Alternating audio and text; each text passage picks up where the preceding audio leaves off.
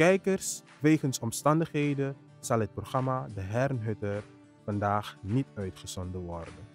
In de plaats daarvan zal een studie welke anno 2022 heel erg belangrijk is uitgezonden worden.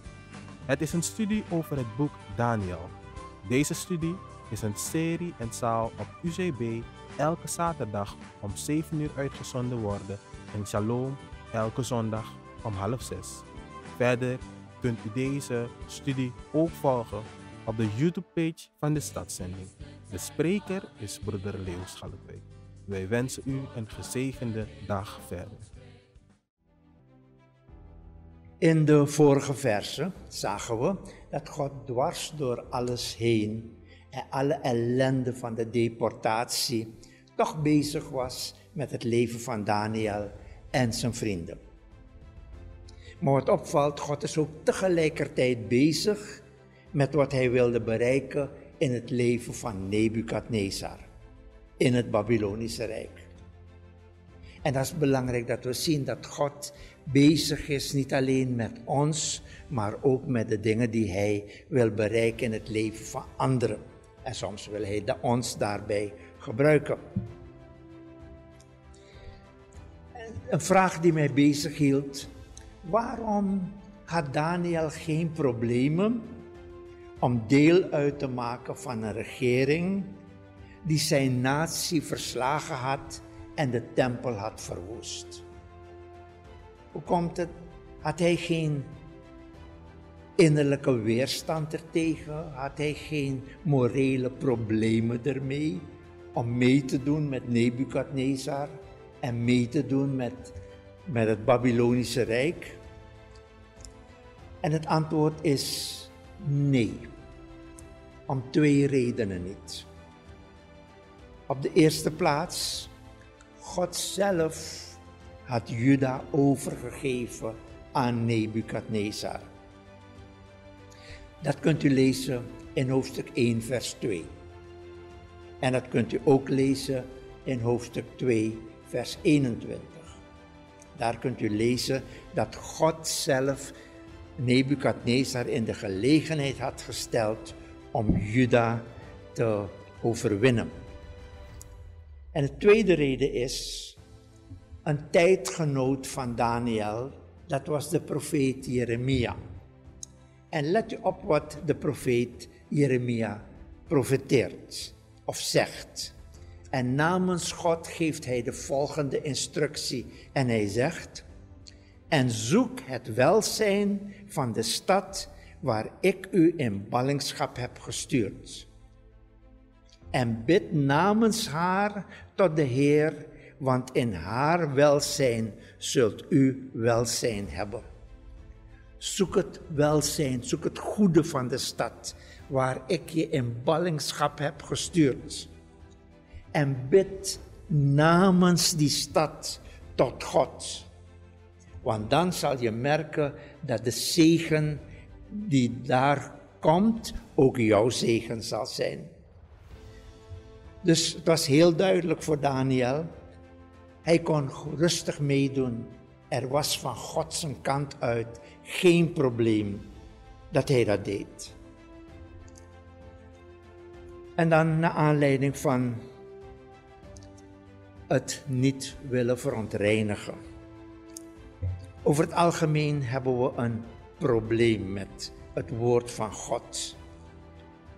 Wanneer er zulke dingen naar voren worden gebracht. Weet u, we zijn gewend om naar Gods woord te luisteren. Ik heb het zelf ook gedaan. Jarenlang, tientallen jaren lang. En ik luister naar Gods woord.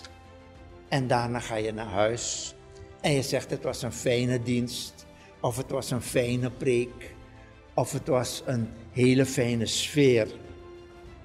En het probleem is dat we daarna er niets mee doen. Maar Gods woord is niet alleen om er naar te luisteren.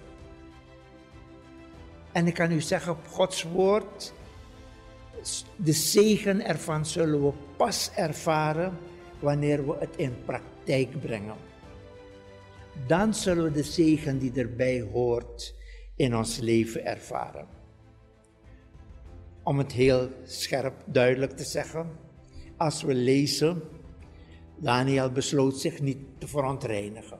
En als we zien het is een goddelijk principe, dan betekent het, ik moet dat gaan toepassen in mijn leven. Ik moet het niet alleen maar lezen en niet alleen maar zeggen, oh, dat was wel heel mooi voor Daniel en zijn vrienden. Maar nee, ik moet dat toepassen in mijn leven, want het is een algemeen principe. En als ik het toepas, dan zal ik ervaren dat God echt met ons zal zijn. We zagen dus dat Daniel besloot om zich niet te verontreinigen, maar en dan gaat hij met dat verzoek naar de overste, naar Aspenas. En hij zegt, uh, hij vraagt medewerking dat zij zich niet zouden behoeven te verontreinigen. Komt er eigenlijk op neer, laten we dan deze bepaalde vleessoorten en bepaalde andere dingen niet gebruiken. U vraagt zich misschien af, wat was eigenlijk het probleem? Waarom wilden de jongens niet eten van de tafel van de koning? En op welke manier zouden ze zich verontreinigen als ze wel zouden eten van de tafel van de koning? In Leviticus 11 komen wij de sleutel om dat te begrijpen tegen. Want daar staan een aantal spijswetten waar aangegeven is welk vlees de Joden wel mochten eten en welk vlees ze niet mochten gebruiken. Deze spijswetten leerden de Joodse kindertjes vanaf kleins af. Dus deze jongens waren van kleins af daarmee opgegroeid. En waarom ze het nu wilden weigeren, omdat het bij hun erom ging, wat moesten ze doen? Gods gebod gehoorzamen of niet? Gods gebod overtreden, bewust overtreden of niet?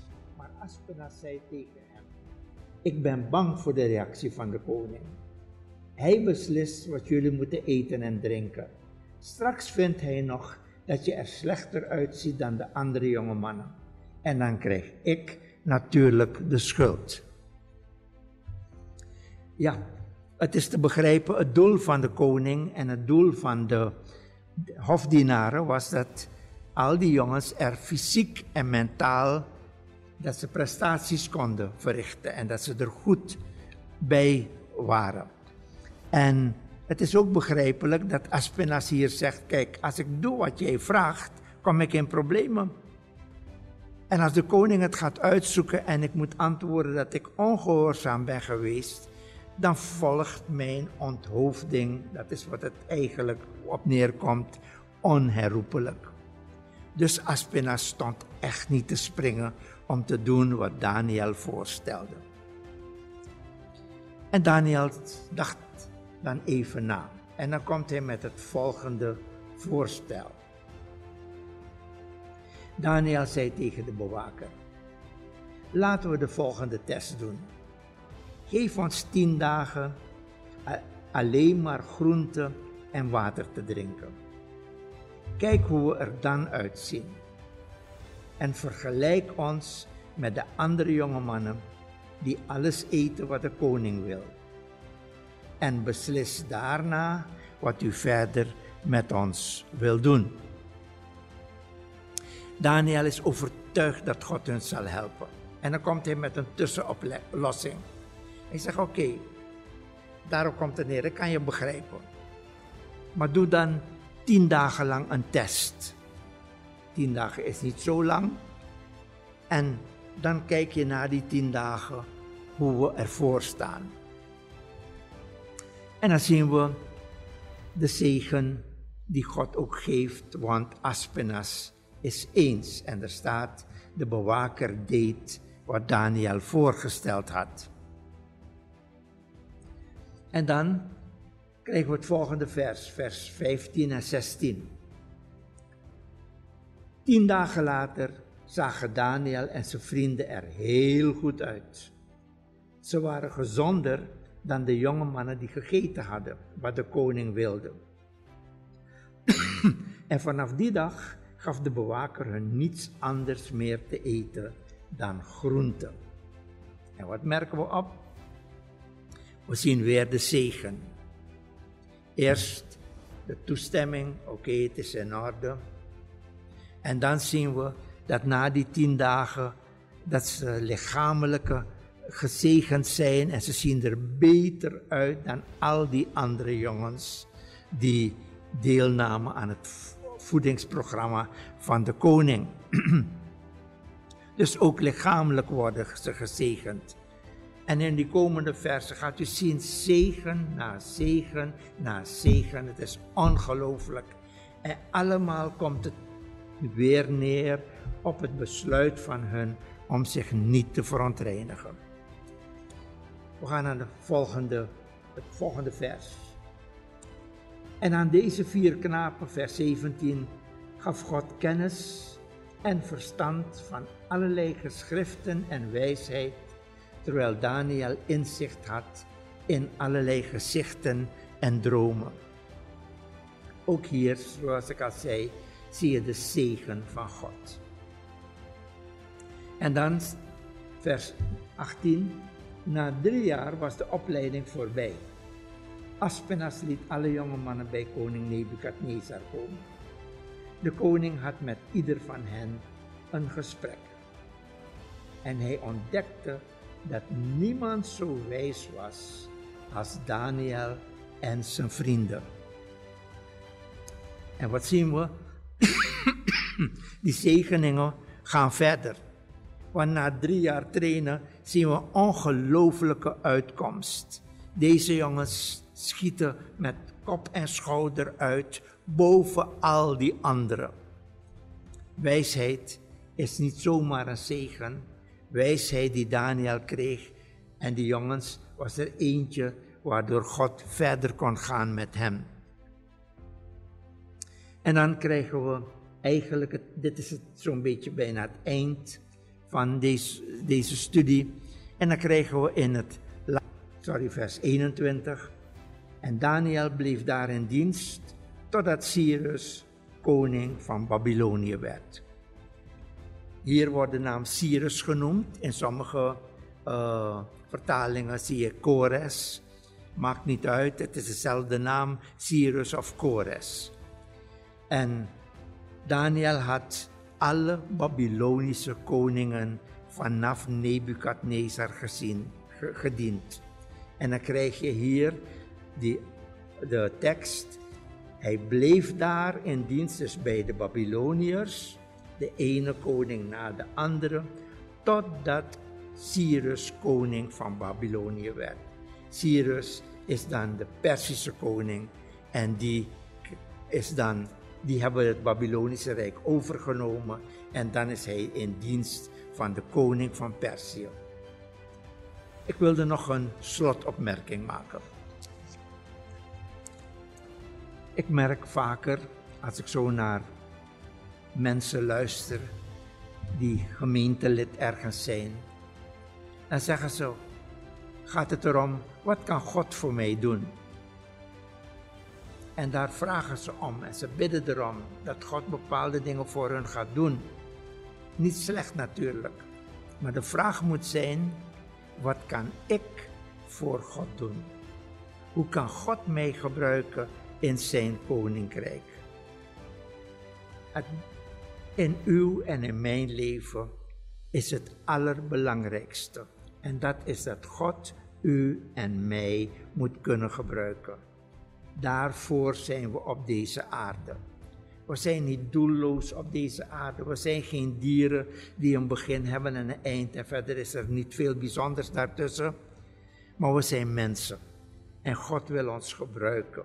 God wil ons een zegen doen zijn voor anderen. En de vraag is, zijn we bereid om dat te doen? Zijn we bereid om net als Daniel te zeggen: Ik wil me niet verontreinigen? Zijn we bereid om ons te ontzeggen van alles wat God in de weg staat? Om dat doel dat Hij met u en met mij heeft te bereiken. En als, echt, als u echt kan zeggen: Nee, ik wil werkelijk door God gebruikt worden, dan is het belangrijk, laten we onszelf onderzoeken. En laten we alles wegdoen dat niet tot eer van God is. Dat gaat niet zo makkelijk, gaat echt niet in één keer. Dat is een weg die we gaan, maar de Heer gaat ons daarbij helpen. En als we doen wat Daniel en zijn vrienden deden, gaan we net als hun een groot verschil in ons leven opmerken. We zullen in deze studie ingaan op Daniel hoofdstuk 2.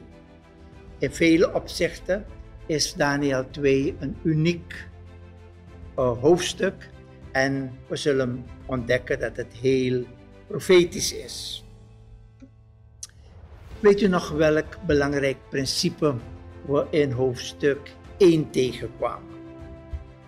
Het principe was, wanneer we ons niet verontreinigen, zal God ons zegenen en gebruiken. Heel belangrijk principe. En dat principe zullen we ook zien werken hier in hoofdstuk 2. Hoofdstuk 2 bestaat uit zowel geschiedenis als profetie. Net zoals het boek Daniel, eerste deel geschiedenis, tweede deel profetie.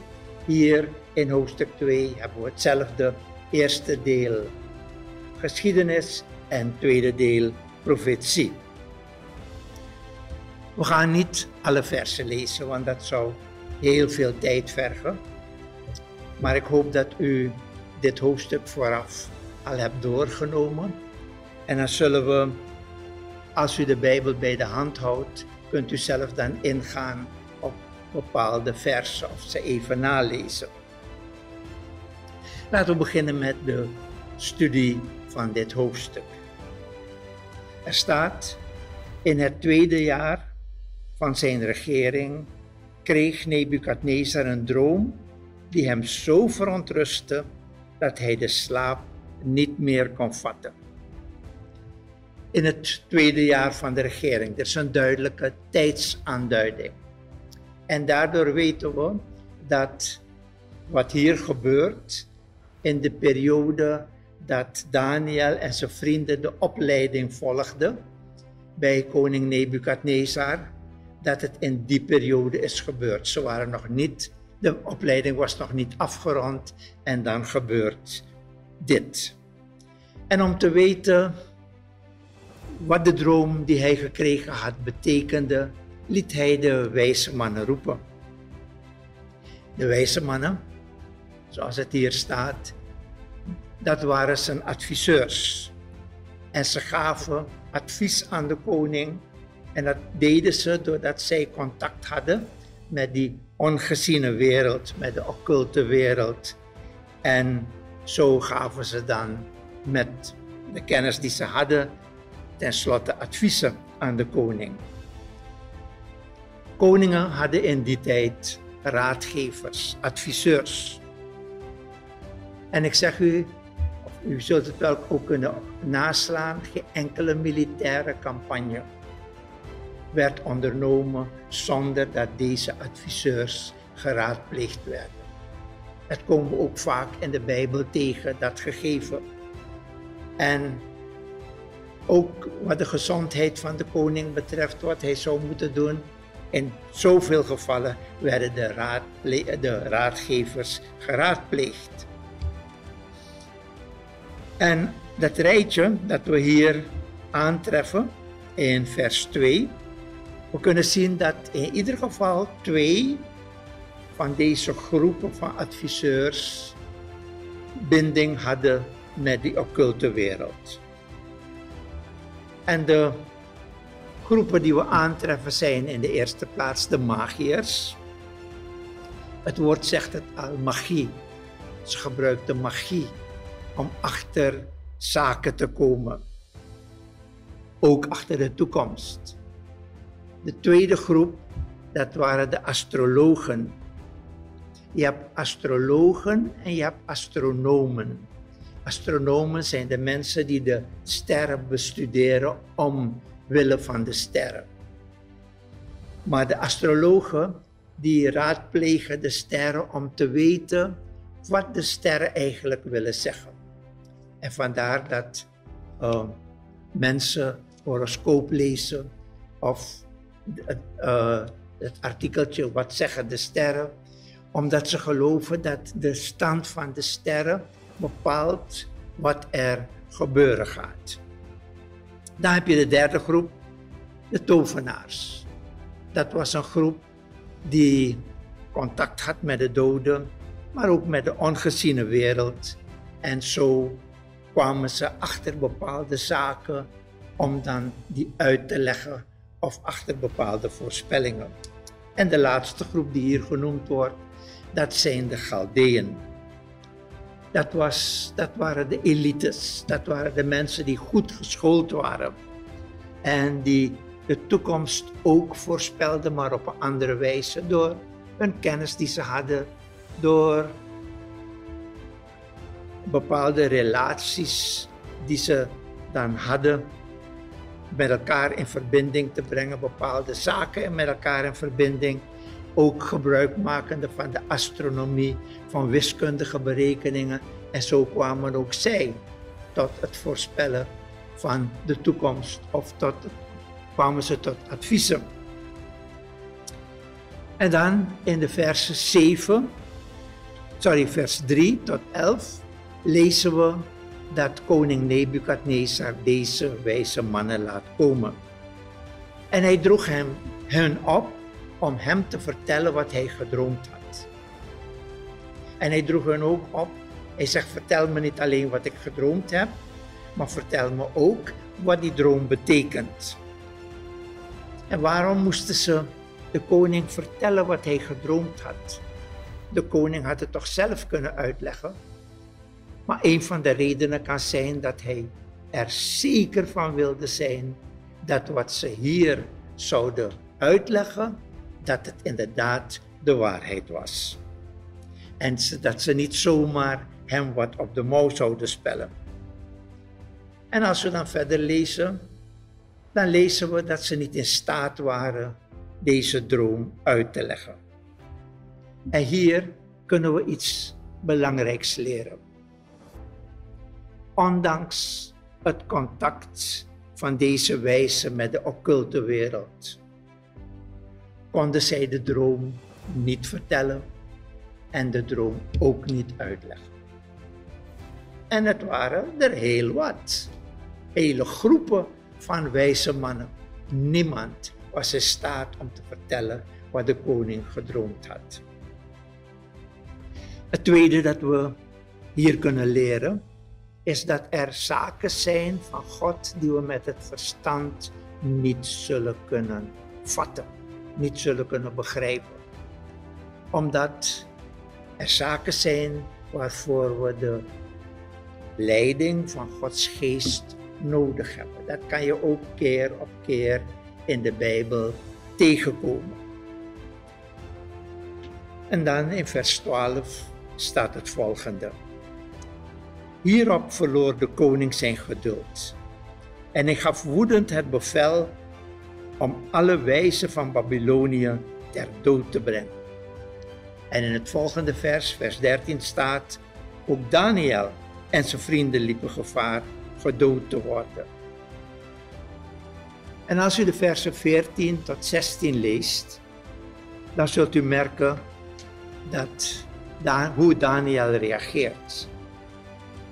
Daarom ging Daniel naar Arioch, het hoofd van de koninklijke lijfwacht. Die moest ervoor zorgen dat de opdracht van de koning uitgevoerd werd. Daniel was heel voorzichtig. Hij vroeg aan Arioch, waarom heeft de koning dat strenge bevel gegeven? En Arioch vertelde wat er gebeurd was. Als ik het zo lees, dat gedeelte, ook verder lees, dan blijkt dat Daniel niet in paniek is. Weet u, soms kunnen er verschrikkelijke dingen op ons afkomen. En dan weten we niet wat we moeten doen. Maar belangrijk is dat we niet in paniek raken. Men zegt ook wel, je moet geen paniekvoetbal spelen. Want als je paniekvoetbal speelt, ga je fouten maken. En dan ga je later spijt hebben van dat je die dingen gedaan hebt, gezegd hebt. Het is heel belangrijk dat we, net als Daniel, in de rust blijven. Want als je in de rust blijft, kan je op God vertrouwen. En dan kan, je, kan God ook tot jou spreken om je in te geven wat je moet doen. Wanneer je niet in de rust bent, is er een blokkade. God kan niet tot je spreken, want je bent zo gespannen en je zit zo met jezelf. Maar als je rustig bent, daarom is het belangrijk, bid, kom tot rust en dan zal de Heer tot ons kunnen spreken en kunnen ingeven wat we moeten doen. En zo gebeurde het ook. In de rust wist Daniel, laat me alvast naar Ariok gaan. En nadat hij dat gedaan had, wist hij wat de volgende stap was. Ik ga naar de koning. En dan, als hij naar de koning gaat, dan gebeurt het volgende, of lezen we het volgende. Toen ging Daniel tot de koning en verzocht deze hem enige tijd te gunnen om de uitleg van de droom te kunnen geven. Hij gaat naar de koning en hij zegt tegen de koning: Geeft u me wat tijd. Dan zal ik u de uitleg van de droom kunnen geven. Dus innerlijk wist hij 100% zeker, anders had hij het niet gedaan, dat God hem zou helpen. Dat God hem niet in de steek zou laten. Dat God hem zowel die droom zou geven als die uitleg. En dan de volgende stap die we zien is in vers, het volgende vers. En dan lezen we vers 17. Daniel ging naar huis en hij vertelde alles aan zijn drie vrienden. Hij zei tegen hen: Vraag of de God van de hemel ons wil helpen. Vraag of hij ons wil vertellen wat de koning gedroomd heeft. Hij wist dat hij de zaak aan God moest voorleggen. Hoewel hij die innerlijke overtuiging had, wist hij: nee, ik moet dit bij God brengen. En dat is een van de belangrijkste lessen die wij in het leven kunnen leren. Om de zaken waarmee we worstelen, waarmee we bezig zijn, maar ook alles van ons leven aan God voor te leggen. In Spreuken 3 vers 5 en 6, daar staat het volgende. Ken Hem in al uw wegen, dan zal Hij uw paden recht maken. Dat wil zeggen, ken Hem, laat Hij alles weten van jou. Breng alles bij Hem, zeg Hem alles. Dan zal Hij uw paden recht maken. Dat wil zeggen, dan zal Hij u helpen en de oplossingen zullen komen en Gods leiding zal te merken zijn. In het volgende vers gebeurt er iets ongelooflijks. En als we het volgende vers lezen, dan zien we dat God aan Daniel de droom geeft. En ook de uitlegging. Ongelooflijk. Hier zie je dat God echt antwoord geeft op onze gebeden. Want toen ze baden wisten ze het niet en daarvoor wisten ze het ook niet. Maar als Daniel ligt te slapen, krijgt hij die droom die Nebukadnezar gehad heeft en ook de uitleg. En hier zie je ook hoe belangrijk het principe van hoofdstuk 1 is. Als je goed staat tegenover God, dan zal God verder met jou kunnen gaan. En wat doet Daniel na dit geweldige wonder? Hij had direct naar de koning kunnen gaan, blij en opgewonden en zeggen: Koning, ik heb die droom, ik weet wat u gedroomd hebt en ik kan u ook de uitleg geven. Maar wat doet hij? Als eerste dankt hij God. En dat is iets dat we niet moeten vergeten. Wanneer God iets voor ons gedaan heeft, past het ons, het hoort zo dat we God ervoor bedanken. Dat is de les hier. En dat zien we ook bij Daniel. Daarin is hij een voorbeeld voor ons. En hoe dankt hij God? Hij, begon, hij begint God te prijzen door het noemen van zijn eigenschappen. En die eigenschappen die hij noemt zijn: God is alwijs, hij weet alles. En hij is almachtig. Dat wil zeggen, hij kan alles.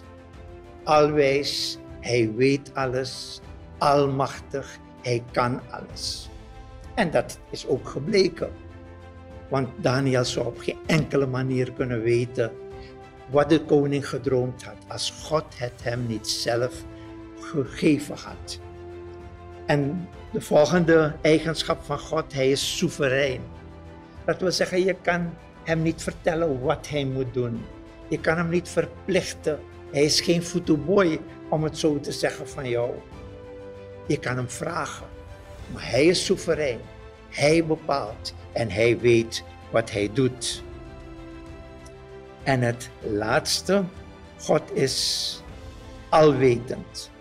En omdat God alles weet, kan hij ook de dingen die verborgen zijn, kan hij openbaren. Weet u, dit is een goede manier om een gebed te beginnen.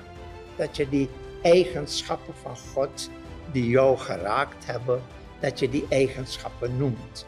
Dat je tegen God zegt, Heer, dank u wel dat u zo genadig bent. Ik had het niet verdiend. En toch hebt u uw hand naar me uitgestrekt. En zo kunnen we doorgaan. En dan eindigt Daniel de tijd met God om hem speciaal te bedanken met de woorden: U hebt geluisterd naar het gebed van mij en mijn drie vrienden. En dat is wat we in ons leven zullen kunnen ervaren. Als we eerlijk en oprecht tot God komen en als we de dingen aan Hem voorleggen, dan zullen we ervaren wat Daniel en zijn vrienden ervaren hebben. U hebt geluisterd naar het gebed van mij. Nadat hij gedankt heeft, gaat Daniel naar Ariok. En dan komt hij tot een vrij gedurfde stap. Hij gaat naar Ariok en hij vraagt Ariok, zeg, zou je de executies kunnen uitstellen? En ik kan u wel vertellen, dat was niet zonder risico voor Ariok. Want de koning zou heel erg boos kunnen worden en hem, Ariok, gelijk laten executeren. Maar Ariok luistert naar Daniel. En daar zie ik ook weer Gods hand in.